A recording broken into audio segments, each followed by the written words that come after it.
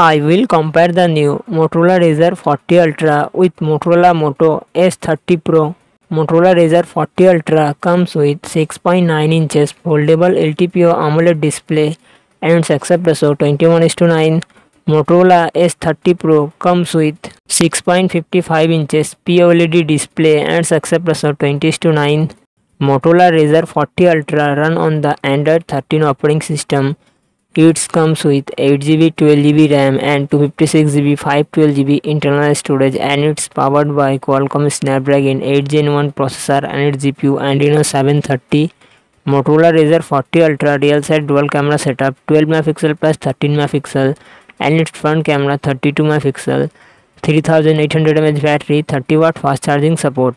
Motorola S30 Pro comes with Android 12 operating system. It comes with 8GB 12GB RAM and 128GB 256GB 512GB internal storage and it's powered by Qualcomm Snapdragon 888 Plus processor and GPU Adreno 660.